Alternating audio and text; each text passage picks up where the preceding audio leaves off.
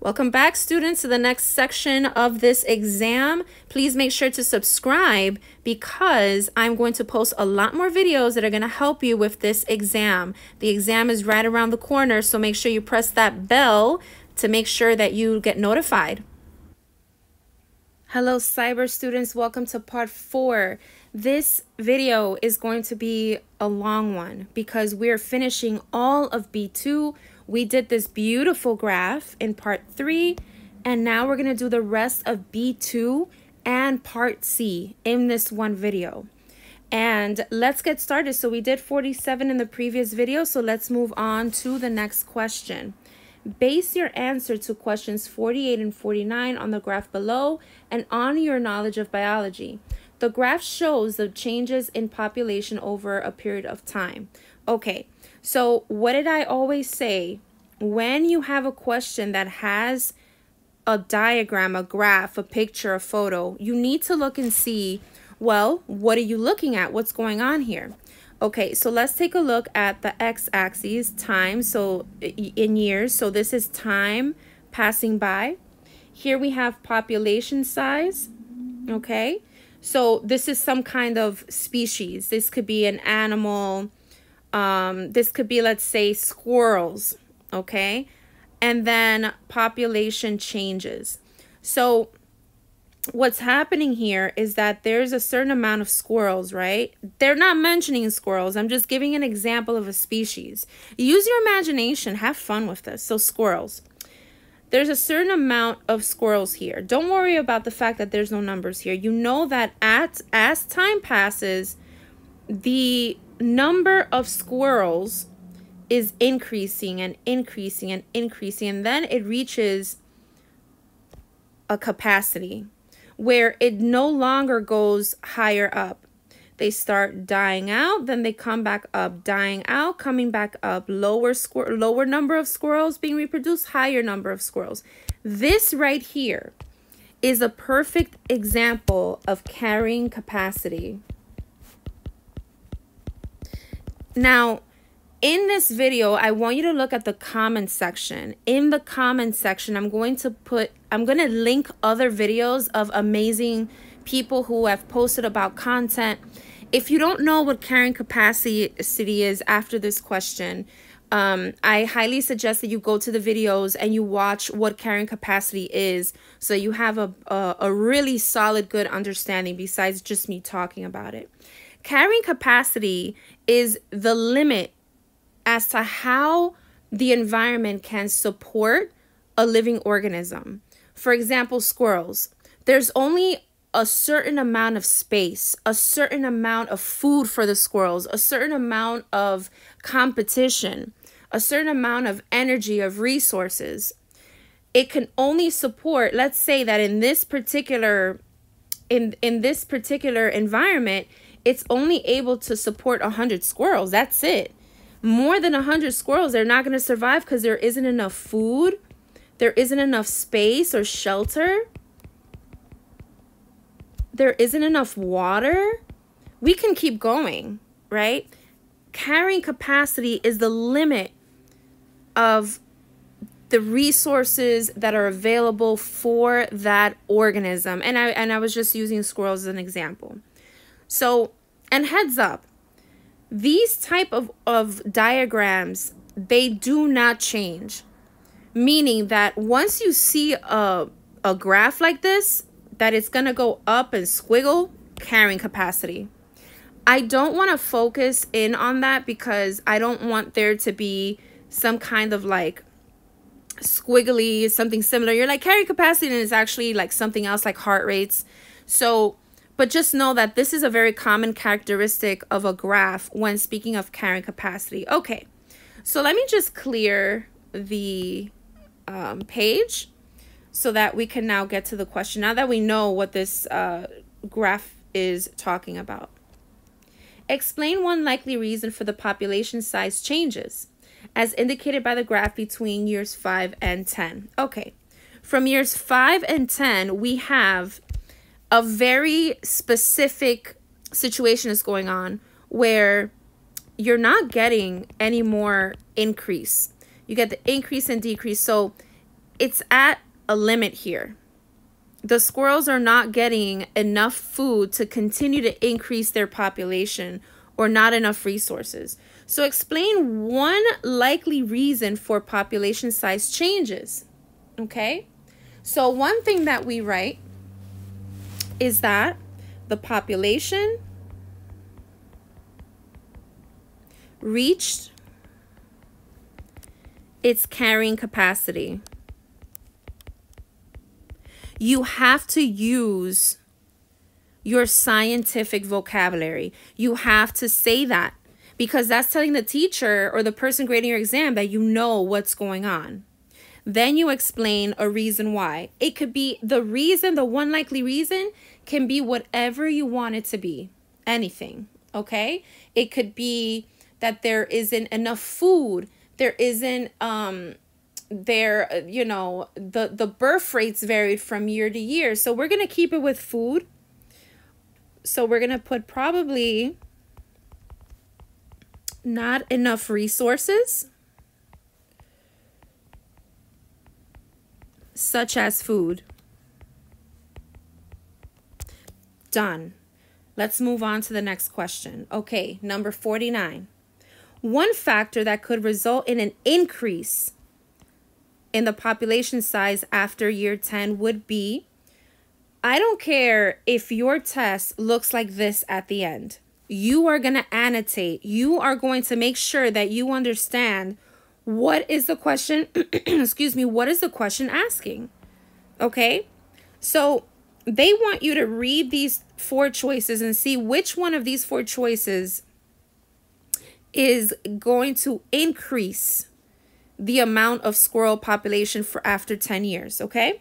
So let's see number one, increase competi competition within species? Absolutely not if you're increasing competition, if the squirrel is competing with another species, let's say a skunk, and they both eat the same thing, for example, let's say, I don't know what skunks eat, um, but let's say they're competing for the same food, they're not, that's going to decrease the amount of squirrels. Okay. Additional food became available. Absolutely. If more food becomes available, more resources, then that can possibly increase the, the, pop, the population size. Next, predators of the species became more numerous, so more things killing the squirrels? No. A new parasite negatively affected reproduction in the species. What? A disease? A parasite? A pathogen? Absolutely not. So the best answer for 49 is choice 2. Okay, let's move on to the next question. I love that you can just fast forward this if you don't want me if you don't want to like stick around for the directions but i'm reading every single word on these exams. Okay. Base your answer to questions 50 and 51 okay so this is 50 and 51 on the graph below and on your knowledge of biology the graph shows how the population growth rate of several species of fish is affected by temperature. Okay remember look at the graph and just speak in your head though. Don't speak out loud so teachers don't think that you're going crazy while you're taking the test or think you're cheating. Read in your head. So let's take a look and see what is this graph talking about. The influence of temperature of the growth rates of fish. Okay. So different temperatures affect different types of fish in the way that they grow. There's a rainbow fish. There's the yellow perch and then there's largemouth bass. Okay, so three different fish, right? And here's the temperature, okay, in degrees Celsius, it's increasing. And then the population growth, so I know they don't number it, but let's put some numbers here just for context, right? Okay. So the higher up you are here, the more number of fish you're going to get. So right here at the top is where you have the highest number of successful growth rates. Okay? So for the rainbow trout, the best temperature is about 9 degrees Celsius. For the yellow perch, the best temperature is 20. For the largemouth bass, the best temperature is about 32, 31, 33. Okay, so now we know what's going on with the graph. So now let's go ahead and answer the question. What is the most favorable temperature for the growth of the yellow perch? I'm going to annotate that. Population. Okay, yellow perch. R yellow perch is right here. And we said the best one, is it 10? No. Is it 15? No. Is it 30? No. It's 20. That was easy. All right, guys, so let's take a look at number 51, okay? So let's take a look at number 51. Several industries use water from a lake to cool their machinery. When this water is returned to the lake, it has been warmed by several degrees. Select one of the fish species and describe one way that a, that a temperature increase from 20 degrees Celsius to 25 degrees Celsius could affect the growth rate of that species. Okay, so they want us to look at 20 to 25 degrees Celsius. So 20 is here. If this is 30, then this right halfway is 25. Okay, so they want us to look at this area right here. And you are to choose one of these three fish and talk about how this um, temperature increase of 20 to 20, 20 degrees Celsius to 25 degrees Celsius would affect a fish that you choose. So let's say you chose the rainbow trout. So you have to write that down. You chose rainbow trout. I can't tell you how many students leave this thing blank or they don't read the, the question carefully and they just put some questionable thing here. Like, no, they're just asking you to pick one of the three things. Okay, so we chose rainbow trout. If the temperature is between 20 and 25, it's not going to do anything to the rainbow trout because let's follow the rainbow trout. Okay? This is the rainbow trout. And there is nothing happening here. So, the temperature increase has no effect on the rainbow trout that we used. I know what you're saying. If you haven't seen my previous videos, I'm going to repeat this and I'm not going to say this again. My handwriting sucks, but look at my handwriting. Can you read it? Yes, you can. If your handwriting is not beautiful and perfect and cursive, actually, we're going to talk about cursive real quick.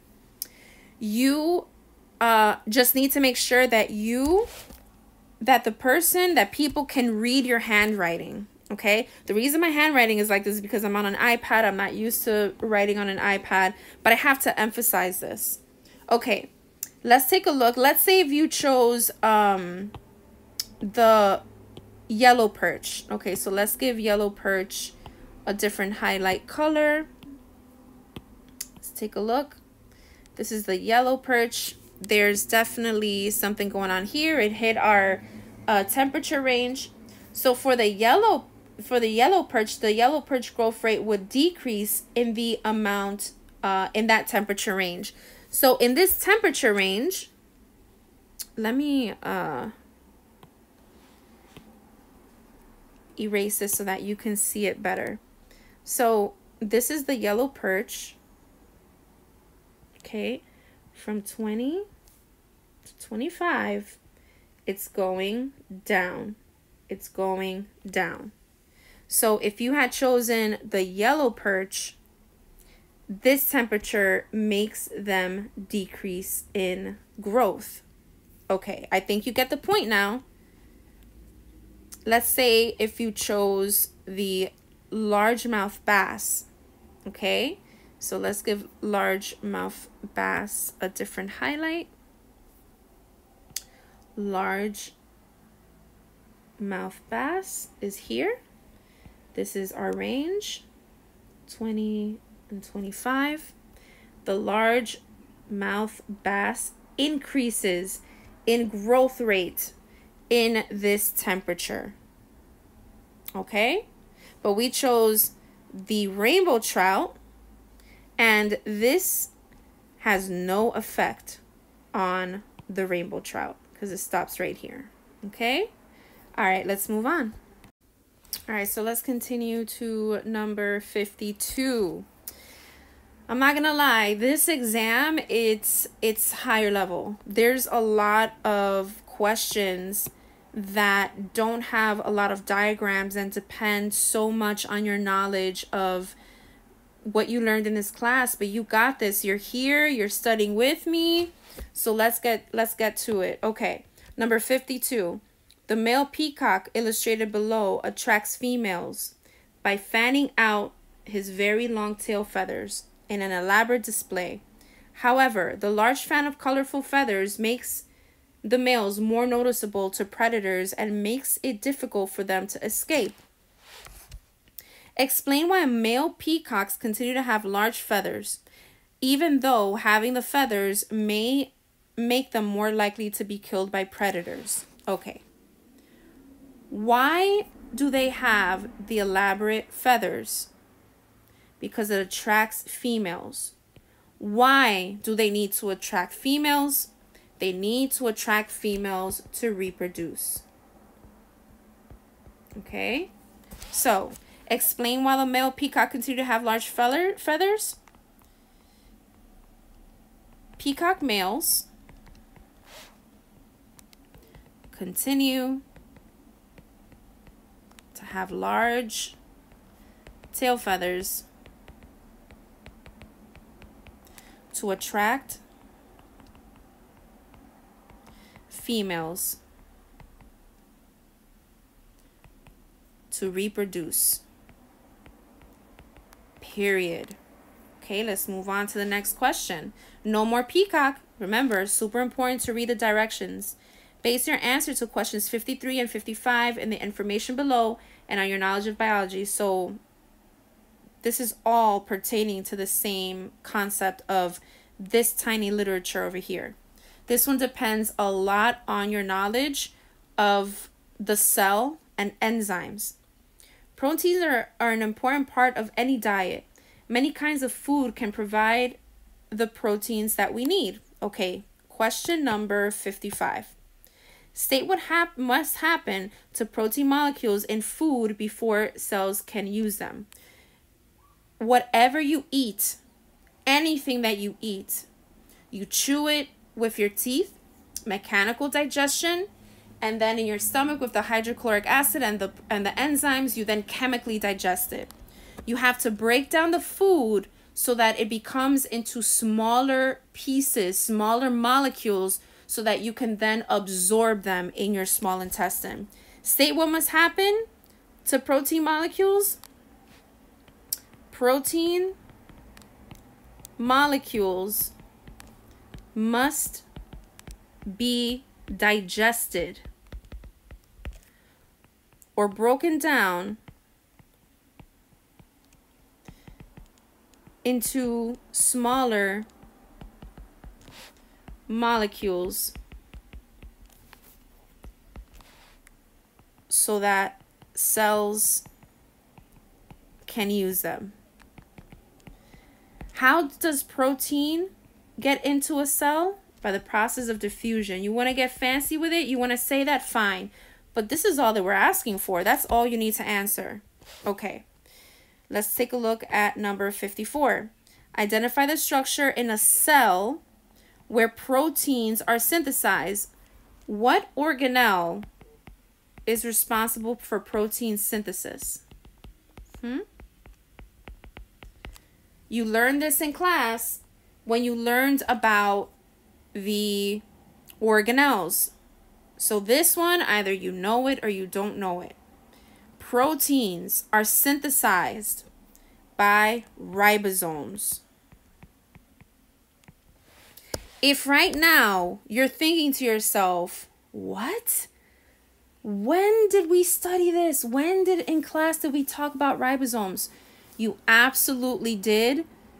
Science teachers have to go through all of the major organelles the nucleus, the mitochondria, the ribosome, the lysosome, endoplasmic reticulum, the cell membrane, the cell wall, all of that the the golgi apparatus maybe not not necessarily for this class but when we teach it, we have to teach all of it, and students forget about the ribosomes a lot. Okay? So this one was ribosomes. Last one. Identify which characteristic of protein molecule allows it to perform a specific function. S specific function, protein. What do you think this is talking about? When this is talking about a protein that has a job to do, has a job to do, okay? What about the protein is so important for it to do its function? First of all, this is talking about enzymes. Enzymes have to be a specific shape. It's talking about a characteristic. So, what about the protein? Okay, proteins must have a specific shape in order to function properly. And if you forgot, let's say this is an enzyme, right? In order for this to work with a molecule that is either going to make or break, it has to fit perfectly. Let's say this is the molecule that's going to be processed and then this is the enzyme. It has to be a lock and key. Lock and key. Okay? In order for it to work. All right, let's move on to part C. Okay, here it is. The famous questions, the style of questions where students give up. It's an hour and a half later. This is questions, you know, 56 to 58 and and we have to go all the way up to 72 in this video I don't care if this video takes me three hours to do. We're going to get this done. And I'm going to let you know all the tips and tricks of how to do this. Do not give up. At this point, when you see this and you're like, oh my gosh, like no diagrams. This is all my knowledge. Take your time. This is the part that you really need to show up. And I'm going to give you a very important tip that I don't want you to forget. Okay. We're going to read all of this and then we're going to get started. Part C. We made it to part C, guys. Answer all questions in this part. Directions 56 to 72. Record your answers in the space provided in this examination booklet. You're writing this in pen. You are not writing this in pencil. Base your answer to questions 56 to 58 on the information below and on your knowledge of biology. Eco ecological succession and evolution are both processes that involve changes over time. However, these two processes are different. Okay. I put two videos in the description box. I mean, I put a bunch of videos in the description box and labeled them about what is ecological succession and what is evolution. I handpicked those videos for one, them being short and them giving the correct information that you need for this test. Okay? Ecological succession is when you have a bare area, let's say that a volcano erupted and it erupted on a forest and it killed all of the plants and animals and trees. And now just I just want you to imagine a very vacant land with just rocks and pebbles. Over a period of time, that that rocks, those rocks and that land that has nothing will eventually turn into a forest. But it takes time. The video on the description box that I linked is going to be very descriptive of what ecological succession is. Evolution is a change in species over a very long period of time. For example, did you know that horses used to be the size of a chihuahua? We know this from fossil records. We found the bone structure of a, of a horse and it was tiny. Millions of years have passed, and now we know horses as how we know them now. They're very, very large animals and we've also had a hand in that. We have done selective breeding for horses that are race horses, and maybe there are competitions out there of who has the largest horse. Two very different situations here. Let's see what they want from us. Okay. Explain how ecological succession differs from evolution. In your answer, be sure to pay attention to what I'm about to say. You see these bullet points? You have to answer in bullet points. Okay? Answer in bullet points. If you do not do this, you're going to have the teacher trying to find answers. Well, where's their answer? Oh, I don't see it. Wrong, wrong, wrong. I can't see it. I can't understand their handwriting. It's all a mess. You are not doing that because you saw my video and you are going to be, again, your handwriting doesn't matter. Just make it legible. They have to be able to read it. You are going to be the most amazing student and you're going to start with the bullet. And you know what else you're going to do? You're going to you're going to number them. This is 56, this is 57, this is 58. Okay? First bullet point, number 56. No problem, teacher. You're going to read my answers. Describe the specific kinds of changes that occur when ecological succession takes place. A barren land turns into a lush forest. Period. Period. Number 57. Bullet point. Describe one way that a population of red foxes could be affected as a result of ecological succession in the habitat. If the habitat is changing, the food can change. If the if the red fox is really um it really depends on a specific type of plant that it's eating or a specific type of, you know, shelter that it's getting from specific plants and then it changes over time because ecological su- uh, succession changes then it can affect the survival of the red fox. So one way the population of red fox could be affected, so one way the population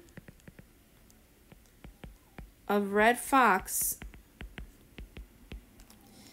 can be affected are the changes in vegetate vegetation. Okay. I, I'm pretty sure I did not vegetation. I'm not sure if I spelled this correctly, but listen. This is a perfect example of how you just try your best. Okay? One way the population of red fox can can be affected are the changes in vegetation. The change in resources can affect the fox. Period. Number 58. Okay. Describe one way that a population of red foxes could be changed as a result of evolution. Okay. This one is saying, how can a red fox change? How can it evolve over time? Okay. One way that animals change is to survive their env- environment. And this happens through the process of natural selection. Natural selection. This is a theory that Charles Darwin discovered. And I'm sure that you remember this from class.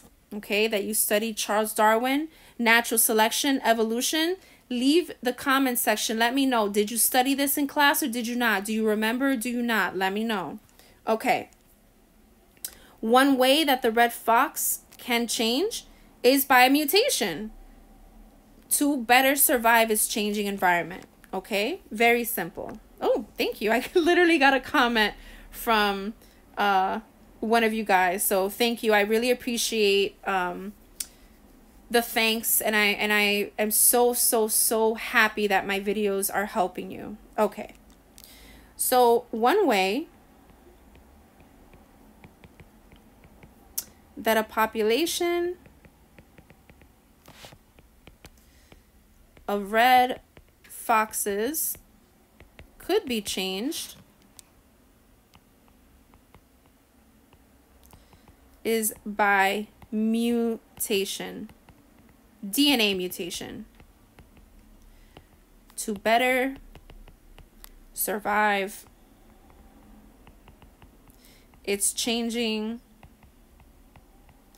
environment. Period.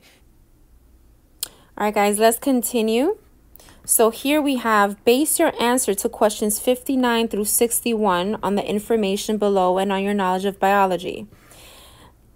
Students, this one is a doozy. This one is a high level reading. It's not much, it's only three small paragraphs, but they have here some pretty high level, hard to pronounce words, scientific words here. They're speaking of bacteria, okay? So you're not in a competition to know how to read, okay? You're not reading this out loud, but you're reading it to yourself. So even if you mispronounce it or you don't know how to pronounce it, Take your time in pronouncing it so that you know what you're referring to when you're being asked the questions. So when you find yourself reading something on a test, on this test, and you can't organize your thoughts, there's too much information going on, there's too many words, too much is going on here. You're going to first look at the questions and see what they're looking for. That's the first thing that I want you to do when the reading is just too unorganized for you and then you start getting nervous and what information are they're asking for. So, first, go to the question and see what they want. So, let's see what 59 is going to ask. State one concern that doctors might have about using S. So, this is pronounced lugdunensis to treat MRSA. Don't worry about it. We haven't read anything yet, so don't worry about what that is. Number 59 wants you to state one concern. So we're going to put the word concern here to keep us um, on the lookout for a concern. Okay, 60. State one way that antibiotic formed by S. lugdunensis is different from most other antibiotics. So, how is S. lugdunensis different from other antibiotics. So we're going to put the word different here. Different. Sorry, it's slippery. Okay, number 61. Describe one observation made by scientists that led them to think that lugdunin would be effective against MRSA. So this one has a, a couple of parts. So I like the word observation. So we're going to put observation up here okay? And we're going to put the word lugdunin, okay? An observation of lugdunin, of this particular um, word here. Now that we know that they want a concern, what is different, and an observation, we can now go and start our reading. So let's read together.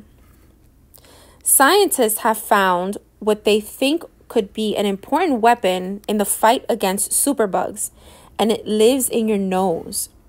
A new antibiotic made by nose dwelling bacteria, Staphylococcus lugdunensis, which is also called S. lugdunensis, has been found to kill drug resistant MRSA, Staphylococcus aureus. So, MRSA is Staphylococcus aureus. Okay? S. aureus is MRSA, which is which kills up to 10,000 people a year in the United States. States. This is also called a staph infection. I was going to say raise your hand if you've ever heard of a staph infection, and then some of you would have raised your hand if you were in my class. So, this is caused, this staph infection is an infection that's caused by Staphylococcus um, aureus, and it does kill up to 10,000 people a year. Okay, let's keep going.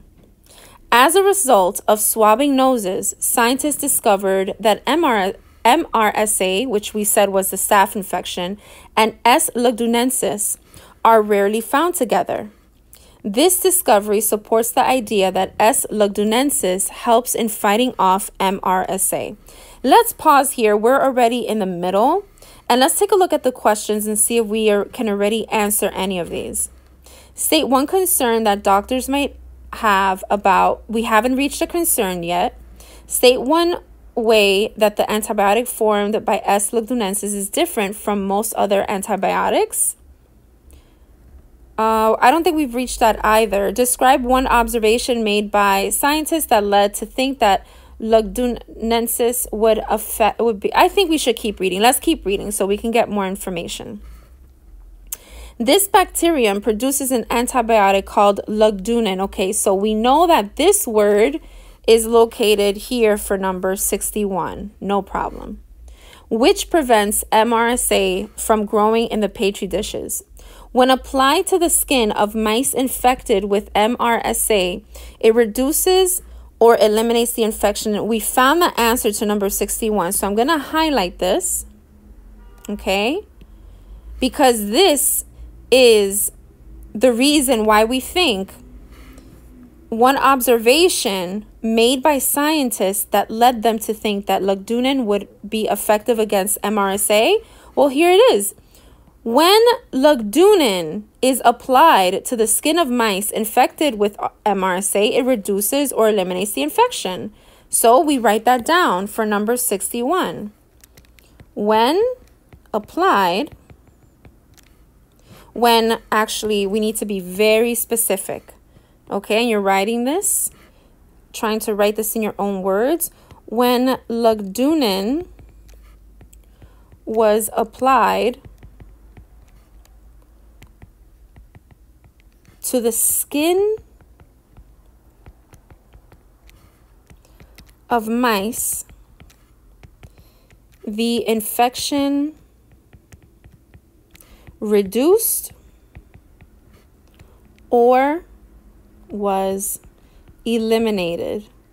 Eliminated. Period. Okay? So we got 61. Okay, let's keep reading. MRSA shows no sign of antibiotic resistance to lugdunin. This to me looks like a diff sounds like a difference. MRSA showed no signs of antibiotic resistance to lugdunin. Okay, let's keep going. Although S. lugdunensis is effective in treating MRSA infections, it carries its own risk of causing infections in the in the heart, joints, skin, and eyes we found the answer to 59 or a answer to number 59 a concern. So although s. lugdunensis is effective in treating mrsa infections it carries its own risk. Risk is a concern okay? So what's a concern? So we're going to write that down okay? Doctors are concerned that S. lugdunensis will cause an infection to the heart, joints, skin, and eyes. Period. Okay, let's finish reading. Normally, antibiotics are formed by soil bacteria and fungi. The idea that human bacteria may be a source of antimicrobial agents is a new discovery. A new class of antibiotics like this has not been found since 1980. So, side thing, I think it's pretty cool that your nose makes um, like an antibiotic that, you know, kills strep, MRSA Okay, so we just found the difference. State one difference that the antibiotic S. lugdunensis is different from other antibiotics. And what do they say? This is made in the nose. And other antibiotic is made in soil. Okay, so one difference, you don't have to mention both. You can just mention one difference of S. lugdunensis is that it makes antibiotics in the human nose. Okay, there it is. We've answered all three questions. All right, guys, let's move on to number 62 and 63. Base your answer to the questions 62 and 63 on the information below and on your knowledge of biology. So let's do the same uh, trick that I taught you with the previous reading. Let's take a look at the questions first, and then we're going to read, okay? And we're going to annotate, and we're going to um, focus in on what is the question asking. What is the big word or the couple of words that let you understand what it's asking for? Okay, number 62. Identify one life function. Okay, they want us to talk about a life function that lysosomes help the cell carry out and describe how they help the cell perform this function. Okay, life functions. You have excretion, digestion, respiration, reproduction, and so on and so on, just to name a few. The lysosome is an organelle. This is found inside of a cell. So, in a cell, you have the nucleus, the endoplasmic reticulum, the mitochondria, the uh, ribosomes, the lysosome is a very special organelle. Okay, like my little drawing of the animal cell. Okay, so now that we know that they want us to figure out what kind of life function does the lysosome do for the cell. Now, to let the cell carry out whatever needs to carry out. Okay, so we are at the cellular level. We're not talking about the heart, the stomach. We're not talking about the human body system. We're talking about the cell and the function that the lysosome has on that cell. Okay, let's take a look at number 63. Identify one additional cell structure and describe how the structure that you have selected interacts with the lysosome to carry out a specific cell function. Okay, this is high level right here. You need to know another organelle that works with the lysosome to help the lysosome finish what it needs to do. Okay? So let's go ahead and start reading and then let's answer the questions the best that we can. Lysosomes are cellular organelles that have the ability to break down large organic compounds. Break down, that is digestion. That life function is digestion. Or old, worn out cell organelles. Some of the products that are produced are a result of this breakdown process can be reused as building blocks, while other products are released as waste from the cell. Waste release as waste from the cell, that is excretion. I'm not going to do any more because for 62 it only asks for one. Let's keep going. Recently, studies have shown that lysosomes are more than just garbage disposals.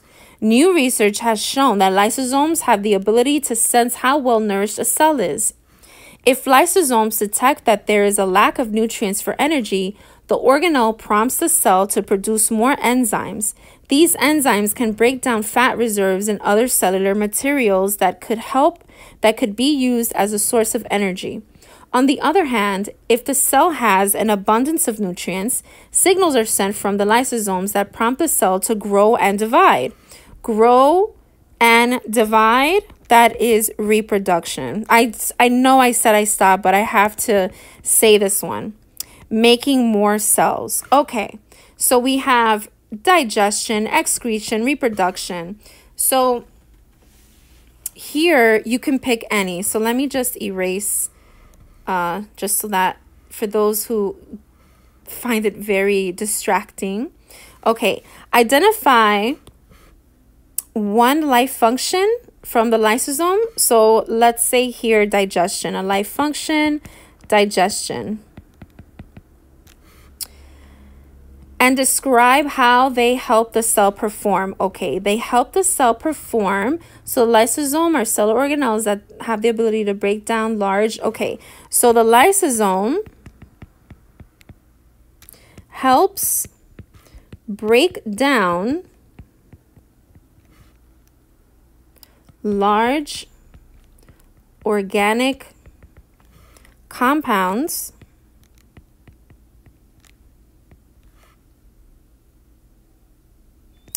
and worn out cell organelles. Helps it clean. Okay. I want you to realize that this I got from the reading. And it's okay if you put it word for word with a couple of changes. It's okay. The point is that you understood a life function and you and you answered the part that says to describe how it helps with the cell for the for the lysosome to do what it needs to do. Okay. Let's take a look at 63. Identify one additional cell structure and describe how the structure that you have selected interacts with the lysosome. Okay, so I'm going to choose one that you know, I have in mind, I'm going to choose excretion because whenever the cell has to excrete a waste, it has to be removed by the cell membrane. Okay, so the cell structure, cell membrane. For those of you who do not know what the cell membrane is, this is a cell. That's the nucleus, is the endoplasmic reticulum. Here's the mitochondria, a lysosome, a large vacuole. The cell membrane is the outermost layer of an animal cell. Okay? In a plant cell, which is kind of squared like, you see two layers. It's the inner part. The outside, do you know what the outermost layer of a cell of a plant cell is?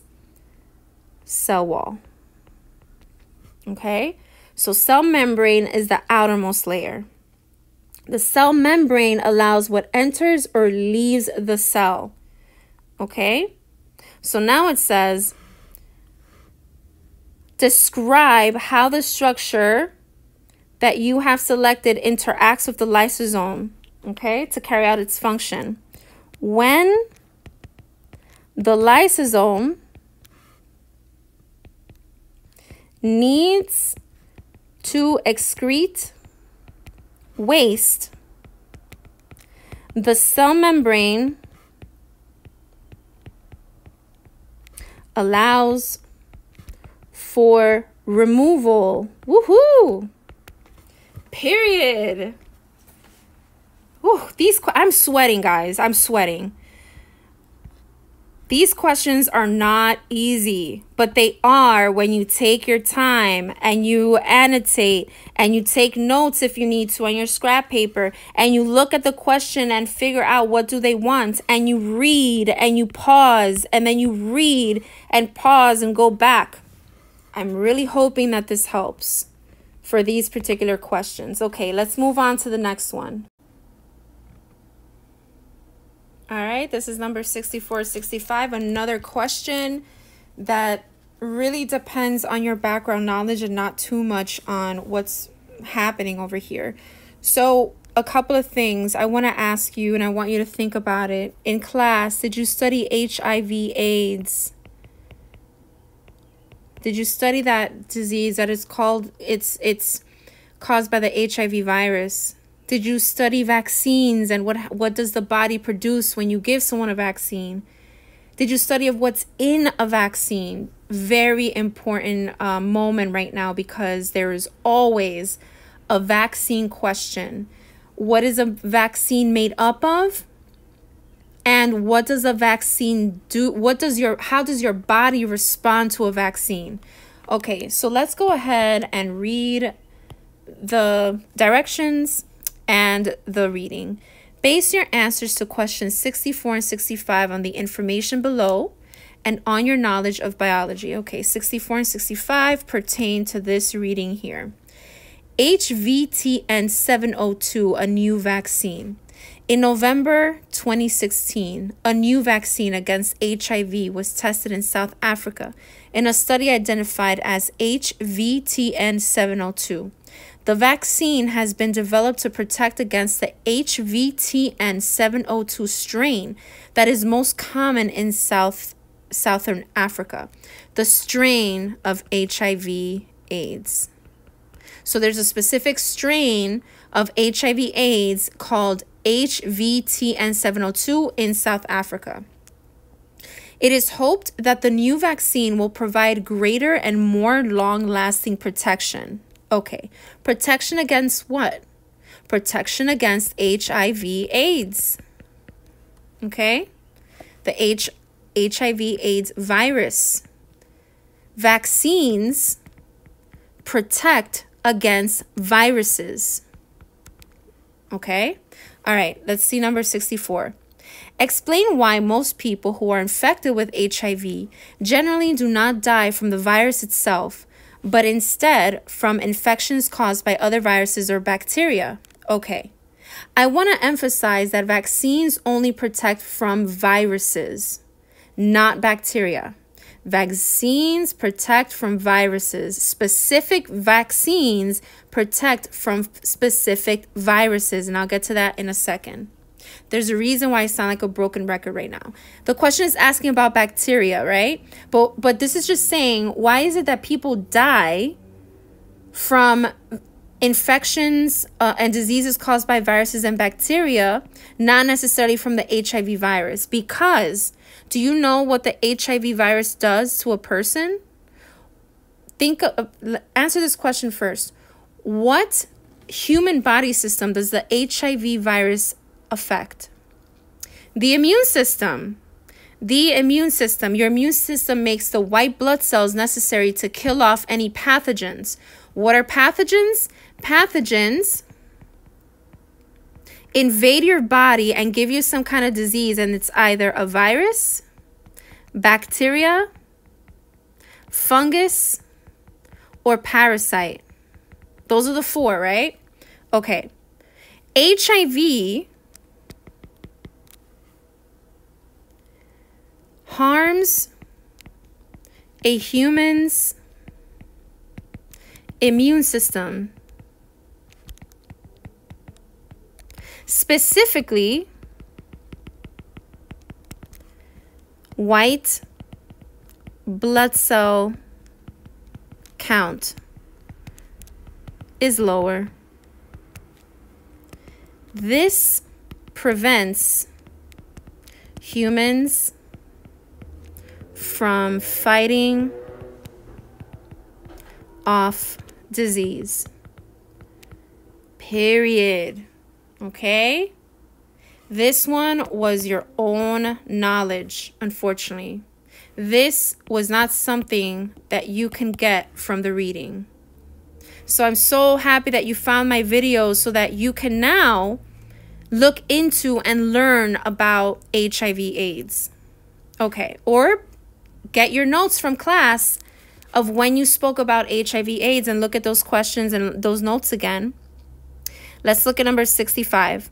Describe what a vaccine, such as the one in the HVTN 702 trial, might contain, let's annotate contain, that would help to prevent an HIV infection in an individual. Okay.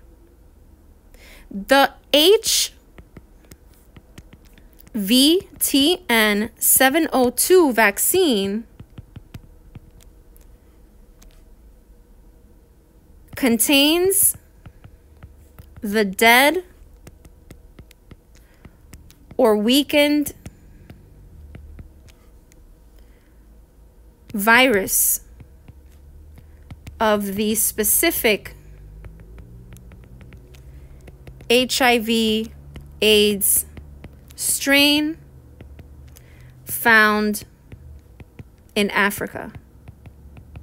Now, I'm going to add some things down here. Okay. I'm going to add some things. Let me try that again. Let me try that again. Okay, hopefully it perfect. Okay, that's better. Okay. So what I want to add is I want to emphasize different types of vaccines and what's in them. Let's start with the one that we know is the most recent one, the COVID vaccine. The COVID vaccine, did you take it? It's okay if you didn't. But what does the COVID vaccine have in it that when you get the vaccine, you then make the antibodies to protect you against the, the vaccine out in the future? COVID vaccine has the dead or weakened COVID virus. Do you get flu shots? I don't, but I should. I always get sick from the flu. And I never thought it was serious until I got the flu this time around and it almost killed me. It was really bad.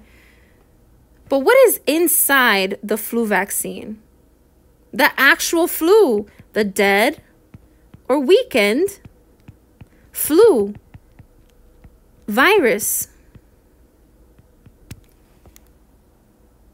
Now, I think you got the point.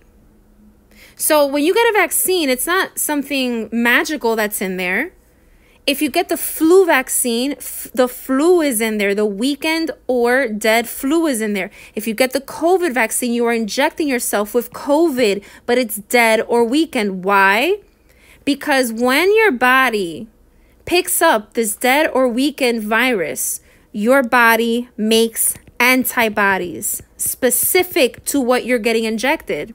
So you get the flu vaccine, your body makes flu antibodies. You get the COVID vaccine, you get COVID antibodies. So then, when let's say you're out and about and then you come across the flu the flu the flu virus but you got the vaccine the antibodies come through and be like get out of here man what you trying to do no we we got vaccinated we're going to kill you off because we recognize you. We are here to tag you and get you out. I got you, bro. You're not going to get sick. Okay, guys, I'm having too much fun with this. All right, let's move on. All right, guys, let's keep going to number 66 and 68 frostbite. So let's read. Okay. Actually, this looks like something that I want to do from before. Read the questions first, annotate it, and then uh, we're going to read. So let's take a look. 66. Identify one substance that the blood transports to organ and tissues of the body and explain why this substance is necessary for organs and tissues to continue function. Okay, a substance carried by the blood to support function? You know this already. We can answer this, at least this part, without having to read. What is a substance that you know the blood carries that goes to all of your cells so that your cells can continue functioning? If you said oxygen, you're correct. So we're going to go ahead and put oxygen. We're going to leave why necessary in a second because um, we want to read and see if there's anything in there that we want to add to the why necessary. Okay, let's see number 67. Describe how the hunting response helps to preserve functioning of the muscle tissue in your extremities, such as your fingers. We can answer that now, but we're going to wait until we read. 68. Describe one possible long-term result of frostbite. Long-term result of frostbite and explain why this can happen. Okay, we're going to read because we do need to know context and what they want us to focus on. So let's read on frostbite. Frostbite occurs when tissues freeze. This condition happens when you are exposed to temperatures below the freezing point of skin. In conditions of prolonged cold exposure, your body sends signals to the blood vessels in your arms and legs telling them to constrict narrow. By slowing blood flow to the skin, your body is able to send more blood to the vital organs, supplying them with critical nutrients, while also preventing a further decrease in internal body temperature by exposing less blood to the out to the outside cold. Okay, we read half. Let's see if we can answer any of the questions here. Okay. Um, I think we could finish answering number 66. Explain why this substance is necessary for organs and tissues to continue their function. Well, oxygen is needed for cellular respiration in all cells to make ATP energy. Done. 66 done. I am hoping that you studied respiration, cellular respiration, and that you know that's when the mitochondria in your cell make ATP energy. You need oxygen and glucose sugar to make this to make ATP happen. Okay? So we definitely got 66 under the wraps, no problem. Okay, let's keep reading.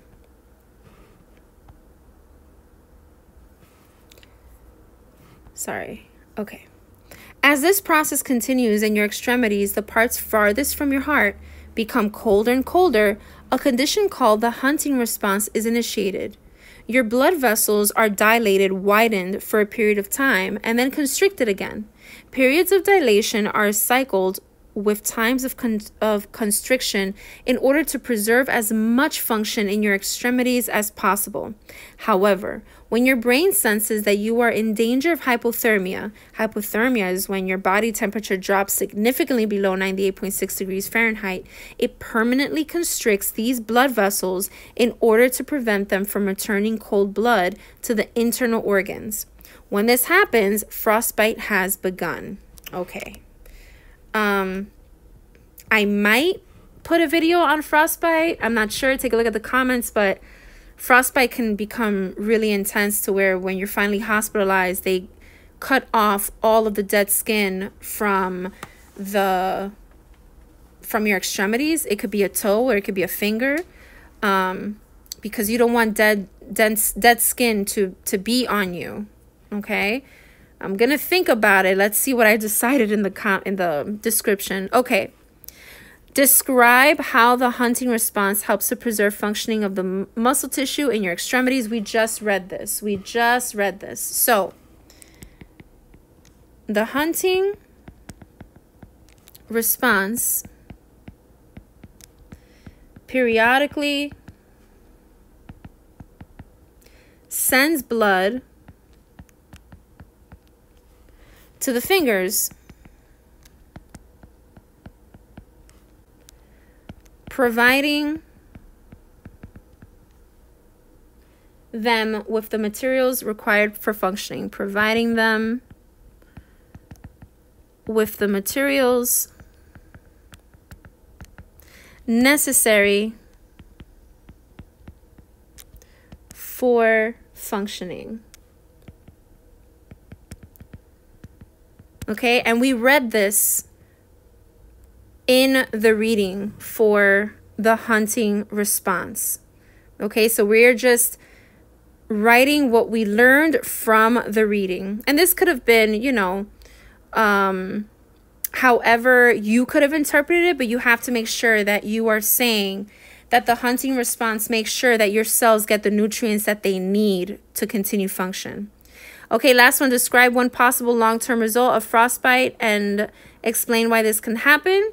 Well, as we learned uh, with frostbite, some cells can die. Some cells can die when they do not receive oxygen or glucose from you know, from this response. So, one possible long term result from frostbite this is when the, the blood is constricted and it can't go to your fingers because it doesn't want to return cold blood to your heart. It wants to keep your core temperature, your organs nice and warm. If your cells do not get the oxygen and nutrients that they need, they will die. Okay? Heavy, heavy, heavy questions again.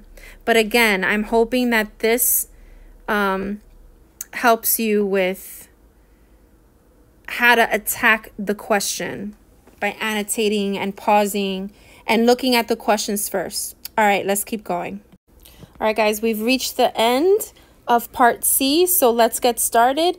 Base your answers to questions 69 through 72 on the information below and on your knowledge of biology. So 69 to 72, let's just take a look. 69, 70, 71, 72 pertain to this um, ecosystem that we're seeing here. This food, this is a food, this is a food web. You've done so much work on this. You know you have. And if you haven't, then that's not good. So I just want to show you that after this is part D, and this is going to be the last video for this particular exam. Okay? All right, so let's get started with our last four questions of this section, part C. Okay, so let's go ahead and read what's going on. Kelp forest food web. Kelp forest ecosystems are primarily located in the Pacific Ocean off the coast of California and Alaska. The increased demand for sea urchins, whose roe, a mass of eggs, is a Japanese sushi ingredient, is causing them to be overharvested. A team of students is concerned that this decrease might affect the number of other organisms inhabiting a kelp forest ecosystem. The students studied the feeding relationships in the ecosystem and constructed the, the food web shown below. Okay, so here we have a food web. Let's just take a look real quick and kind of start labeling things. So we have, we're starting with the giant kelp algae, okay, which is a plant. Uh, this particular thing here, giant kelp algae, no problem. And then we have snails and a sea urchin and large crab, sea star, large fish, and sea otters. Okay, no problem. So I want you to realize the arrows. Let's focus on this arrow over here. Okay. I want you to focus on this large fish. Can you tell me what the large fish eats? Take a look. What does the large fish eat? Does it eat sea otter or does it eat large crabs? Or does it eat a starfish? Take a look at these arrows. What does the large fish eat? The large fish eats large crabs because the energy is flowing from the large crab to the large fish. When you need energy, what do you do? You eat. You eat food. You consume calories. You consume carbohydrates, proteins, fats from your food, sugars. Okay? So the arrows are pointing to the flow of energy. Okay? So then, what does the sea otter eat according to the arrows? So there's a flow of energy the energy is flowing to the sea otter. The sea otter eats sea urchins. It also eats sea stars. It also eats large crabs. It also eats the large fish. Okay? So let's do one more. Okay? What do sea urchins eat? Look for the arrow that's pointing to the sea urchin. This arrow is pointing to the sea urchin. Sea urchins eat giant kelp algae. Okay? Let's do the snail. What do snails eat? Look at an arrow that's pointing to the snail. This is pointing to the snail. Snails also eat giant large algae. Let's do another one. What does Let's do the large crab. What does the crab eat? Look for an arrow that's pointing to the large crab. This one's pointing to the large crab. So the large crab also eats the giant kelp algae. Okay. The questions that we're about to do, I just want you to write what you observe in the food web. Write what you observe. Don't worry about trying to explain, overcomplicate things. Let's take a look at the questions and let's see how we can answer them. Number 69. Describe one role. Okay, let's annotate the role of sea urchin population. Okay, they want us to concentrate on the sea urchin. The sea urchin is right here. I'm going to annotate sea urchin population in the kelp forest ecosystem. Support your answer with information from the food web. Okay, What's the role of the sea urchin? The sea urchin eats giant kelp. Okay? Sea urchin eat giant kelp algae. That's it. That that's the role. The role is that it eats the giant kelp algae. That's it. Let's move on to number 70.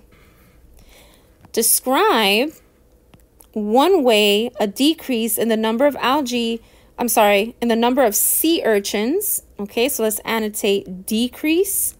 The number of sea urchins would affect the population of large fish. Support your answer with the information from the food web.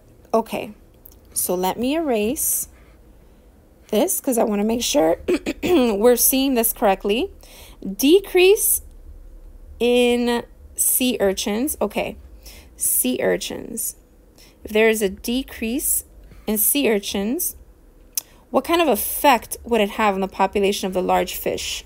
So, what would happen to the large fish if there's a decrease in sea urchin? Well, let's see the connection. The sea urchin is eaten by sea otters. The large fish is eaten by the sea otters. The sea otter also eats sea stars and it also eats large crabs. No problem.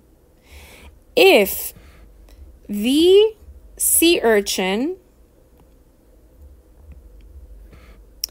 if the sea urchin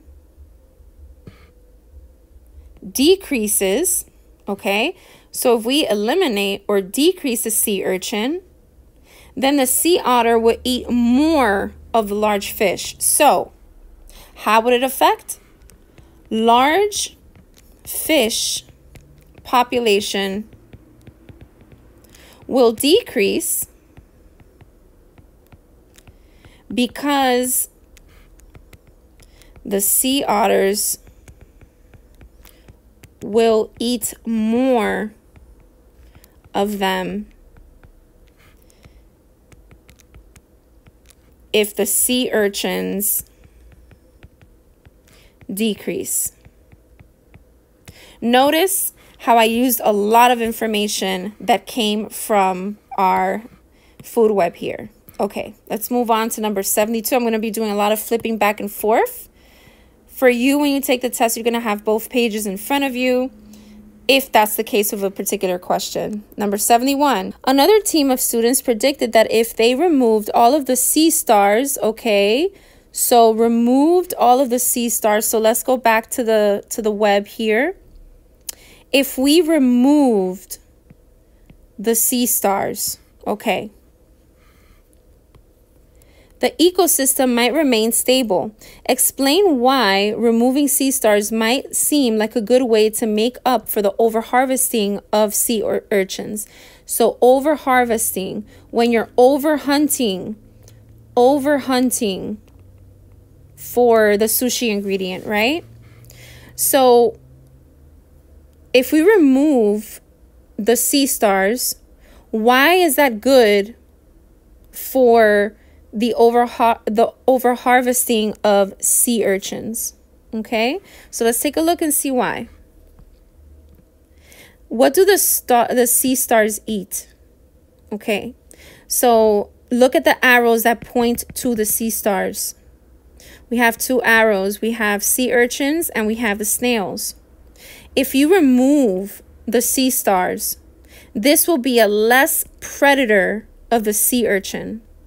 This will be another uh, one less predator that's trying to eat the sea urchin. So then the number of sea urchins would increase because it's now not just so the sea otter eats it, right? But then you remove the sea stars and they're no longer going to eat the sea urchins. So that is why it will try to be more stable. Okay, so we're going to answer 71. Removing the sea stars from the ecosystem will increase the number of sea urchins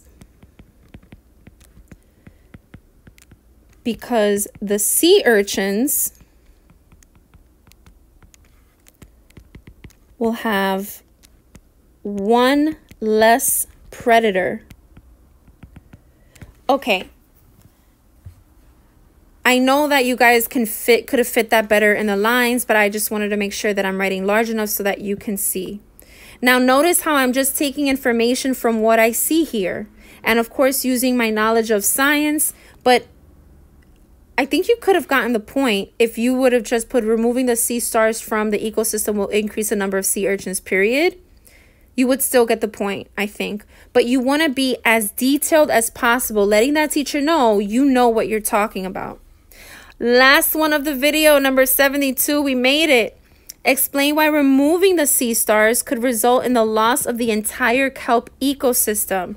Okay, so removing sea stars, and then let's take a look at the kelp ecosystem. So let's just concentrate on the sea stars. Okay, so they're saying why, what kind of role would happen if you completely completely remove the sea stars? Okay. So what kind of role would happen? Okay. Just take a look. What would happen if you remove the sea stars?